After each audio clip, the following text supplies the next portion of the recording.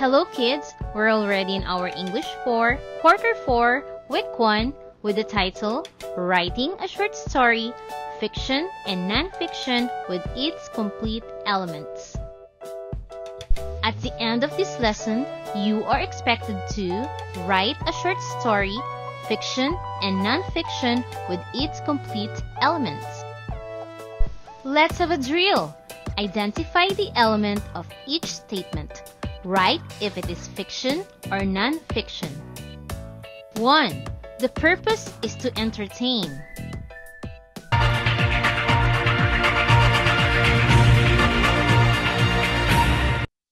The correct answer is 2. Read in any order.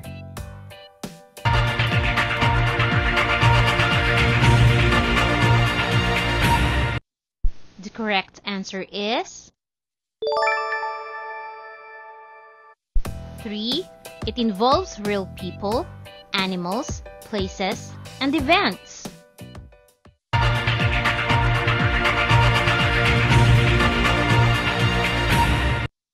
The correct answer is 4. Examples are almanac, history, and biographies.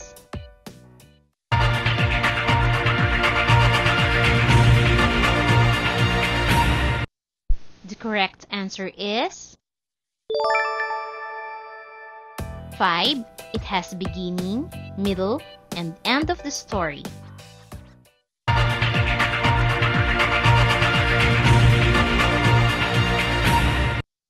The correct answer is Let's have a review. Match column A with column B. Write the letter of the correct answers on your paper. You may pause this video to answer this review. Here are the answers.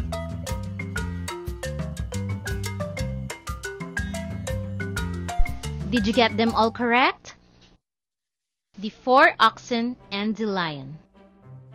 A lion used to prowl about a field in which four oxen used to dwell. Many a time he tried to attack them. But whenever he came near, they turned their tails to one another, so that whichever way he approached them, he was met by the horns of one of them. At last, however, they fell a quarreling among themselves, and each went to off to pasture alone in a separate corner of the field. Then the lion attacked them one by one and soon made an end of all four. Let's have a comprehension checkup. What is the title of the short story? Who are the characters in the story? Where did the story happen? Why couldn't the lion attack the four oxen? Why did the lion become successful finally? What do you call this kind of story? What do you call a story whose characters are animals? Here are the answers.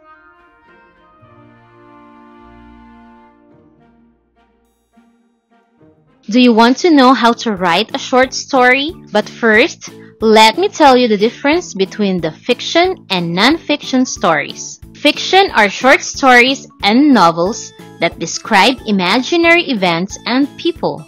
The purpose of this kind of story is to entertain the readers, while the non-fiction stories, they came from real events and facts. They also came from true stories about real people, places, and experiences. The purpose of the nonfiction stories is to inform the reader.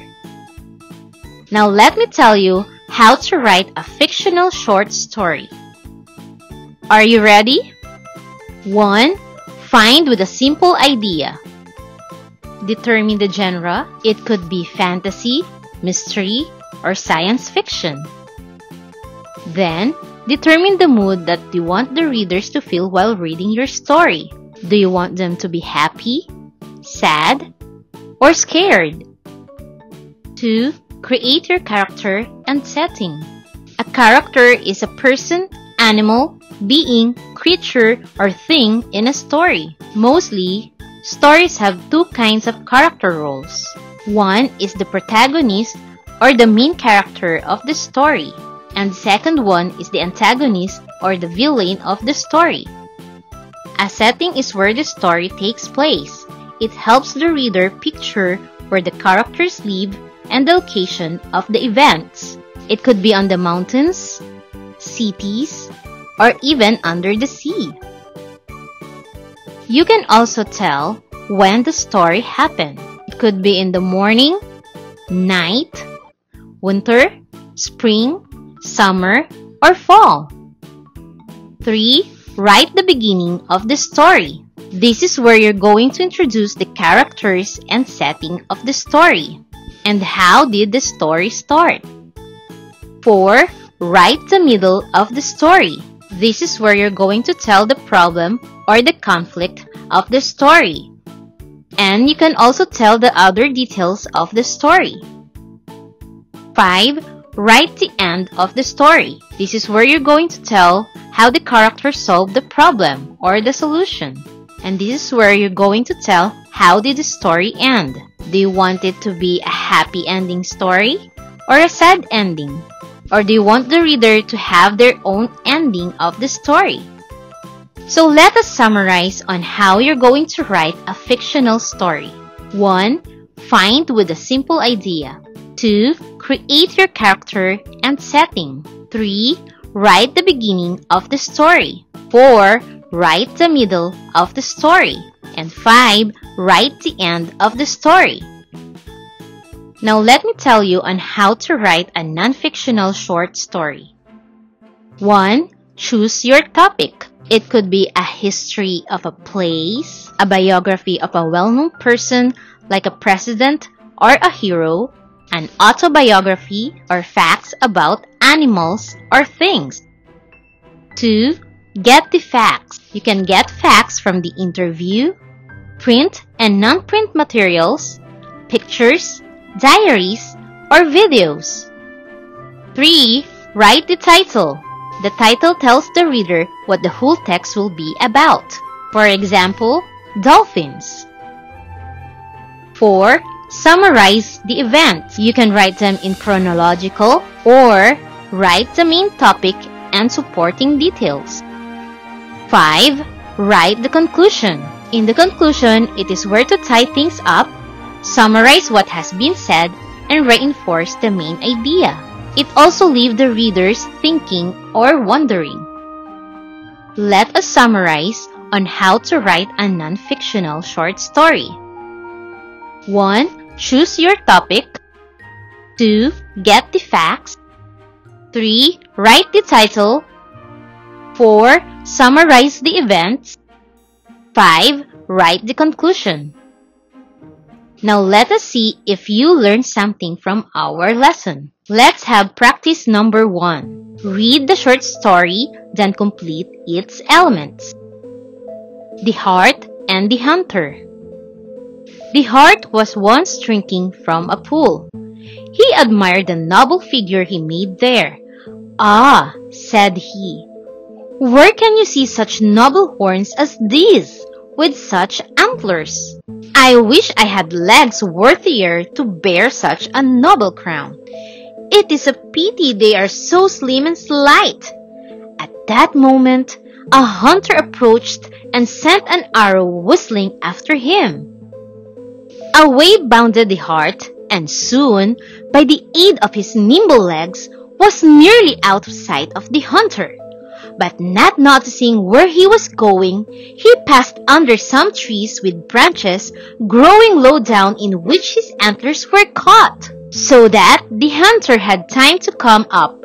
Alas, alas, cried the hart, we often despise what is most useful to us. 1. What is the title of the story? A. The Hart B. The Hunter C. The Hart and the Hunter.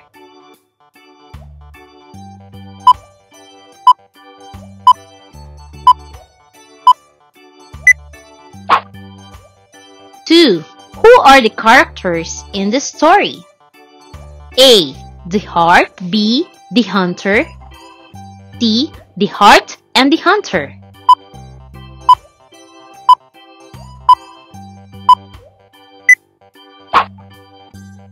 Three.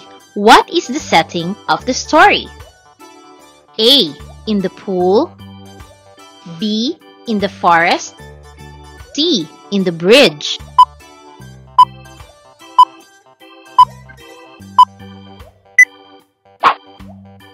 4. What is the conflict of the story? A.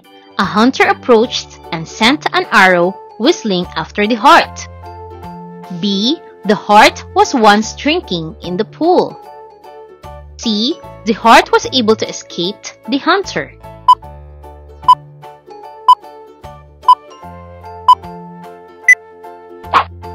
Five. What is the solution of the story?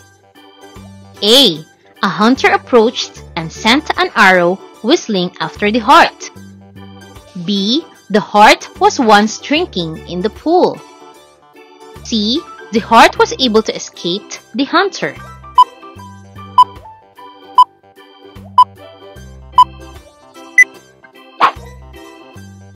Six. What is the theme of the story? A. Do not be fooled by others. B. We often despise what is most useful to us. C. Be humble.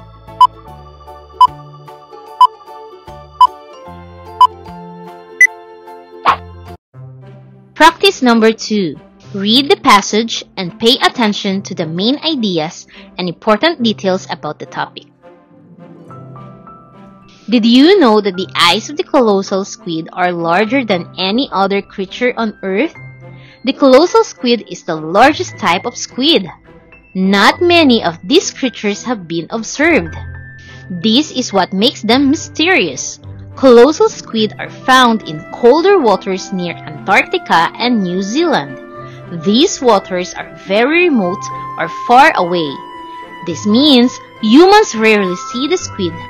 They live in deeper waters.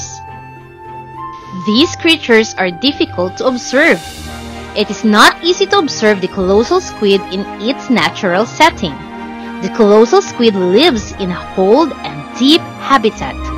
Even with the advanced technology, it is a difficult task to learn about these creatures. This type of squid almost never comes to the surface of the ocean. Human interaction has been very limited. Scientists do not know much about the mysterious colossal squid. Did you understand the topic? Now write the title, main idea, the three supporting details, and the conclusion. You may pause this video to answer this activity. Let's answer. The title is The Colossal Squid. The main topic is the colossal squid is the largest type of squid. The first supporting detail is the colossal squid are found in colder waters near Antarctica and New Zealand. The second supporting detail is they live in deeper waters. Third supporting detail is these creatures are difficult to observe. The conclusion of this topic is the scientists do not know much about the mysterious colossal squid. Did you get them all correct? Now let's have an evaluation. Read the story and write its element on the format given. The Hare and the Tortoise One day, in the forest, the hare saw a tortoise walking slowly with a heavy shell on his back. The hare was very proud of himself, and he asked the tortoise, Shall we have a race? The tortoise agreed. They started the running race. The hare ran very fast, but the tortoise walked very slowly. The proud hare rested under the tree and soon slept off. But the tortoise walked slowly and steadily and reached the goal. At last, the tortoise won the race. Write the title, the setting, characters, problem, reaction, resolution, and theme. Here are the answers.